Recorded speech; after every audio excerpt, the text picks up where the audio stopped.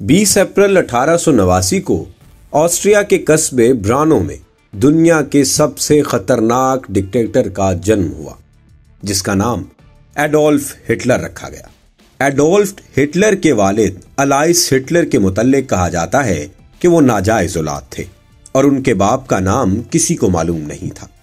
Hitler के एक साथी हैंस फ्रैंक ने हिटलर की मौत के बाद ये इंकशाफ किया था कि हिटलर की जर्मन दादी किसी यहूदी घराने में मुलाजिमा थी इस यहूदी घराने के एक 19 साल नौजवान लड़के ल्यूपोल्ट से उनका नाजायज ताल्लुक बन गया और इसके नतीजे में एलाइस हिटलर पैदा हुए। फिर एलाइस हिटलर के घर में एडोल्फ हिटलर ने जन्म लिया। इस तरह एडोल्फ हिटलर का शजरा नस्ब जर्मनों से नहीं बल्कि यहूदियों से जा मिलता है। लेकिन हिटलर के वालिद और फिर हिटलर भी खुद को जर्मन ही कहते थे। शायद ये यहूदी घराने से ताल्लुक वाली कहानी हिटलर को भी मालूम न थी, इसलिए उन्हें यहूदियों से सख्त नफरत हो गई थी। यानी हिटलर की यहूदियों से नफरत में जाति दुश्मन का अंसर भी शामिल था।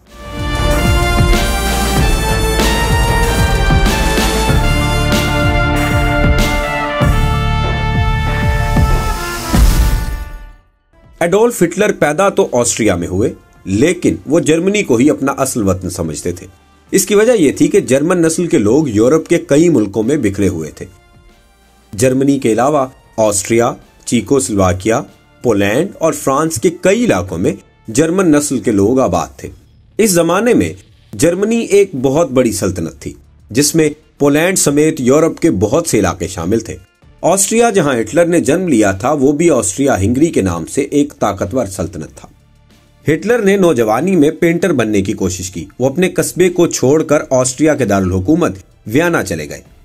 वहाँ वो छोटी मोटी पेंटिंग्स बनाकर और उन्हें बेचकर गुजर बसर करते थे। इस दौरान उन्होंने गुजर औकात के लिए अखबार भी बेचे। उन्होंने वियाना में ओपेरा हाउसेज में जाना शुरू कर दिया। ओपेरा में उन्होंने फनकारों को शायरी के अंदाज में डायलॉग्स बोलते हुए देखा और इन फनकारों की नकल करना शुरू कर दी। इसी नकाली से उन्होंने तकरीर करने का फन सीखा हिटलर अपनी तकरीरों के दौरान हाथों और सर को जिस तरह हरकत देते थे, ये सब कुछ उन्होंने व्याना में सीखा था। 1914 में पहली जंग अजीम शुरू हो गई। हिटलर के वतन जर्मनी को मगरबी महाज पर फ्रांस से और मशरकी महाज पर रूसियों से लड़ना पड़ रहा था। हिटलर जर्मनी चले गए और जर्मन फौज में भर्ती हो गए, लेकिन उन्हें फौज में बहुत छोटा कारपोरल का ओहदा मिला। उन्हें लड़ने से ज़्यादा मोर्चों के दरमियान पैगाम रसानी का काम दिया गया। वो एक मोर्चे से कमांडर का पैगाम लेकर दौड़ते हुए दूसरे मोर्चे में जाते थे। इसी दौरान वो कई बार मरते मरते भी बचे। 28 सितंबर 1918 के रोज फ्रांस के महाज पर वो पैगाम ले जाते हुए एक बरतानवी सिपाही टी. हिनरी के निशाने पर आ गए। टी. हिनरी बहुत माहिर निशानेबाज था। उसने बहुत से जर्मन फौजियों को हलाक किया था, लेकिन हिटलर गैर मुसल्ला था। टी. हेनरी ने उन्हें बेजरर समझकर जाने, यूँ हिटलर ज़िंदा बच गया। बरसों बाद हिटलर ने एक पेंटिंग देखी जिसमें टी हिनरी को लड़ते हुए दिखाया गया था। हिटलर ने उस पेंटिंग को देखकर कहा, मैं भी इस सिपाही के हाथों मरते मरते बचा था। लेकिन कुछ तारीखदान ये भी कहते हैं कि हिटलर ने यह झूठ बोला था। वो कभी टी हिंदरी के निशाने पर नहीं आए। पहली जंग अजीम के दौरान जर्मनी के दुश्मन इत्तेहादी ताकतें जहरीली गैस का इस्तेमाल कर रही थी। हिटलर और उनके साथियों को गैस मास्क दिए गए। लेकिन गैस मास्क हिटलर के चेहरे पर फिट नहीं आता था। क्यों? क्योंकि उनकी मूछे लंबी थी। हिटलर के कमांडर ने उन्हें मूछे छोटी करवाने का हुक्म दिया। हिटलर ने मूछे छोटी करके चार्ली चिपलिन जैसे स्टाइल में कटवा ली। फिर जंग की यादगार के तौर पर हिटलर ने यह मूछे मरते दम तक कायम रखी। लेकिन गैस मास्क के बावजूद हिटलर एक गैस हमले से मुतासर हो गए। वो आर्जी तौर पर अंधे हो गए। अस्पताल में उनका इलाज चल रहा था। इसी दौरान जर्मनी को शिकस्त हो गई। जर्मनी की शिकस्त के साथ ही जर्मन सल्तनत का भी खात्मा हो गया। इत्तेहादी ताकतों, बरतानिया, अमेरिका और फ्रांस ने जर्मनी के टुकड़े करके आपस में बांट लिए। पोलैंड भी इसके कब्जे से निकल गया। मशरकी अफ्रीका के कई मुल्क जिनमें जर्मनी का कब्जा था, वो भी इत्तेहादियों के कंट्रोल में चले गए। जर्मन बादशाह कैसर भी मुल्क से फरार हो गए और बादशाहत का भी खात्मा हो गया। जर्मनी को शिकस्त देने के बाद भी इत्तेहादियों के इंतकाम की आग ठंडी ना हो सकी। उन्होंने जर्मनी को हुक्म दिया कि जंग के दौरान इत्तेहादियों का जो मुआशी नुकसान हुआ है वो जर्मनी अपनी जेब से अदा करे। ये रकम एक लाख टन सोने की कीमत के बराबर थी। इस रकम की अदायगी ने जर्मनी का दिवालिया निकाल दिया। जर्मनों के खून पसीने की कमाई इत्तेहादियों की तिजोरियों में जाने लगी।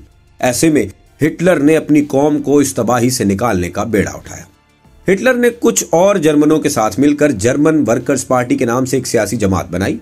उस सियासी जमात को बाद में नाजी पार्टी का नाम दिया गया। इस पार्टी का निशान स्वास्टिका रखा गया। यह निशान यूरोप में खुशकिस्मती की अलामत समझा जाता है। हिटलर और उनकी पार्टी के इतिहादियों की तरफ़ से मुसलत करदा जिल्लत आमेज शराय की मुखालफत करके अवाम में मकबूलियत हासिल कर ली। हिटलर का सियासी नज़रिया यह था कि वो जर्मनों की बरतरी पर यकीन रखते थे।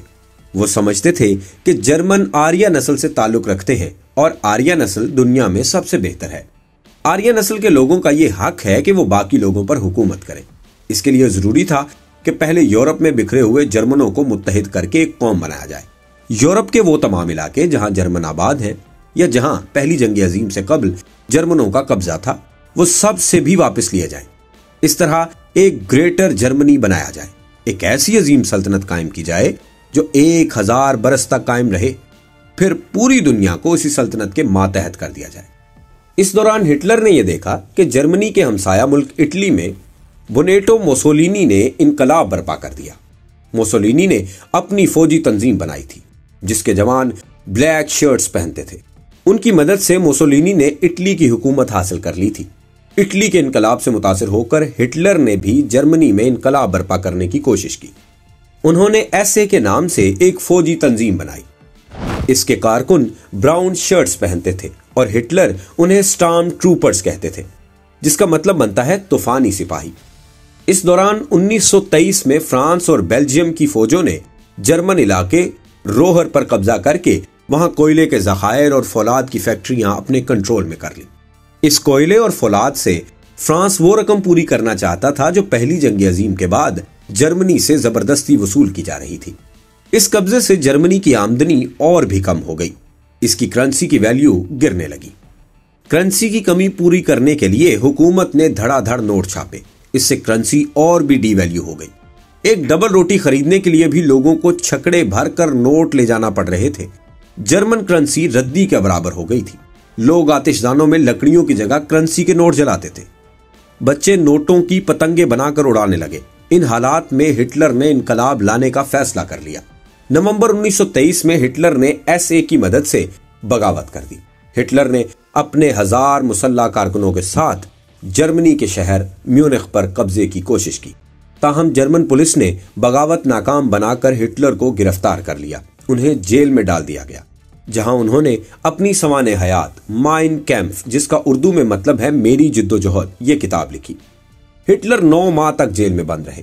इसके बाद सियासी दबाव की वजह से हुकूमत ने बाकी सियासी कैदियों के साथ हिटलर को भी रिहा कर दिया। रिहाई के बाद हिटलर की मकबूलियत पूरे जर्मनी में फैल गई। जर्मन कौम का एक बड़ा तबका उन्हें अपना निजात दहंदा समझने लगे। बड़े बड़े दौलतमंद लोग उनकी पार्टी को फंड्स देने लगे, जिनमें अमरीकी कंपनी फोर्ड भी शामिल थी। 1932 के इलेक्शंस में हिटलर की नाजी पार्टी ने पार्लियामेंट में अक्सरियत हासिल कर ली। जर्मनी के बूढ़े सदर हिंटनबर्ग हिटलर के अजायम को खतरनाक समझते थे। वो उन्हें जर्मनी का चांसलर यानी वज़ीर बनाने के खिलाफ थे। उन्होंने बार बार इलेक्शंस करवाए, लेकिन हर बार हिटलर को अक्सरियत मिल जाती थी। मजबूरन 23 जनवरी 1933 को हिटलर को चांसलर बना दिया गया। अगले माह, फरवरी में कम्युनिस्ट ने जर्मन पार्लियामेंट की इमारत को आग लगा दी। हिटलर ने इस वाक़े का फ़ायदा उठाकर कम्युनिस्ट को कुचलना शुरू कर दिया। इसके बाद उन्होंने पार्लियामेंट से एक डिक्टेटर जैसे इख्तियार हासिल कर लिए। इन इख्तियार की मदद से उन्होंने मुल्क में दीगर सियासी जमातों पर पाबंदी लगा दी। ट्रेड यूनियंस खत्म कर दी। मुखालिफ अखबार बंद करवा दिए और नाजी नज़रिए से मुताबकत ना रखने वाली किताबें जला डाली। यही नहीं, उन्होंने अपनी पार्टी में मौजूद मुखालिफिन का भी सफाया कर दिया। हिटलर के हुक्म पर 3 जून 1934 की रात हिटलर के 400 मुखालिफिन को कत्ल कर दिया गया। मरने वालों में नाजी पार्टी के कई लोग भी शामिल थे। उस रात को night of the long knives के नाम से जाना जाता है, यानी लंबे चाकुओं की रात। हिटलर ने एक खुफिया पुलिस गिस्टापो के नाम से कायम की, जिसने हिटलर की सियासी मुखालिफिन को पकड़ना और खत्म करना शुरू कर दिया। 1934 में सदर हिंटनबर्ग के इंतकाल के बाद हिटलर जर्मनी के सदर बन गए। हिटलर ने हुकूमत संभालकर जर्मन कौम में एक नई रूह फूंक दी और मुल्क को बहुत तरक्की दी। किसानों को कर्जे दिए, स्कूलों और अस्पतालों में बड़े बड़े प्रोजेक्ट्स मुकम्मल किए। उन्होंने गैर मुल्की ताकतों को तावान जंग की रकम की अदायगी भी रोक दी।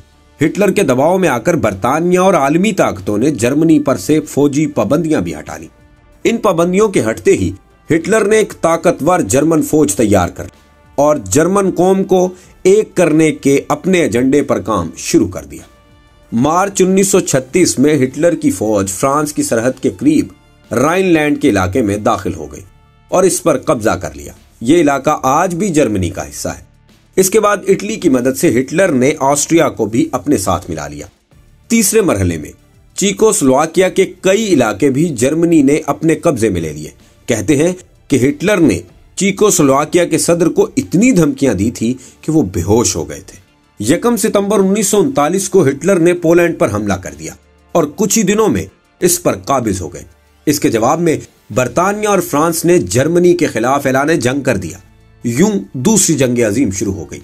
इस जंग में हिटलर को शुरू में बहुत कामयाबियाँ मिली। वो France, Norway, Belgium, Holland, Luxembourg, यूनान और सर्बिया पर भी काबिज हो गए। लेकिन 1940 में बरतानिया पर हमले का उनका मंसूबा नाकाम हो गया। उन्होंने ऑपरेशन सी लाइन के नाम से बरतानिया पर हमले का मंसूबा बनाया। इसके लिए जर्मन तैयारों ने लंदन पर बेशुमार हमले किए, लेकिन ब्रिटिश एयरफोर्स ने उन हमलों को नाकाम बना दिया। इसके बाद हिटलर ने 1941 में ऑपरेशन बारब्रोसा के नाम से रूस पर हमला किया और एक मौका पर उनकी फौज मॉस्को तक पहुँच गई थी।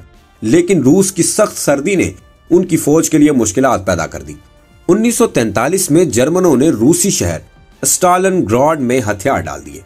यूँ रूस पर हमला हिटलर को बहुत महँगा पड़ा। रूसियों ने उन पर जवाबी हमले शुरू कर दिए और बढ़ते बढ़ते बर्लिन तक पहुँच गए। इधर बरतानिया और अमेरिका ने फ्रांस पर हमला करके उसे जर्मनों से छीन लिया। फिर उनकी फौज जर्मनी में दाखिल हो गई। अप्रैल में रूसियों ने बर्लिन का मुहासरा कर लिया और इस पर कब्जे की लड़ाई शुरू हो गई। 30 अप्रैल को जब रूसी फौज हिटलर को गिरफ़्तार करने के करीब थी तो हिटलर ने अपने बंकर में खुदकुशी कर ली। लेकिन खुदकुशी से पहले उन्होंने अपनी महबूबा ईवा ब्राउन से शादी की। फिर अपनी फौजी वर्दी पहनी। ईवा ब्राउन ने साइनाइड कैप्सूल खाकर खुदकुशी कर ली, जबकि हिटलर ने सर में गोली मारकर खुद को खत्म कर लिया। जर्मनों ने हिटलर की लाश को जलाने की कोशिश की, लेकिन यह जली हुई लाश रूसियों के हाथ लग गई। हिटलर के दांतों के रिकॉर्ड से यह कंफर्म हो गया यह हिटलर की लाश है। हिटलर की खोपड़ी आज भी महफूज है। लेकिन उनके बाकी जिस्म की राख रूसी एजेंसी के ने जर्मनी के एक दरिया में फेंक दी। हिटलर की मौत के बाद उनके खिलाफ प्रोपेगेंडा किया गया कि उन्होंने होलोकास्ट में 60 लाख से लेकर 90 लाख तक यहूदियों को कत्ल किया। लेकिन गैर जानबदार माहरीन ने आज तक इसकी तस्दीक नहीं की कि होलोकास्ट में इतने ही लोग मारे गए थे। फिर भी यूरोप में होलोकास्ट के बारे में सच बोलने या इसे गलत कहने पर पाबंदी है और लोगों को सजाएँ दी जाती हैं।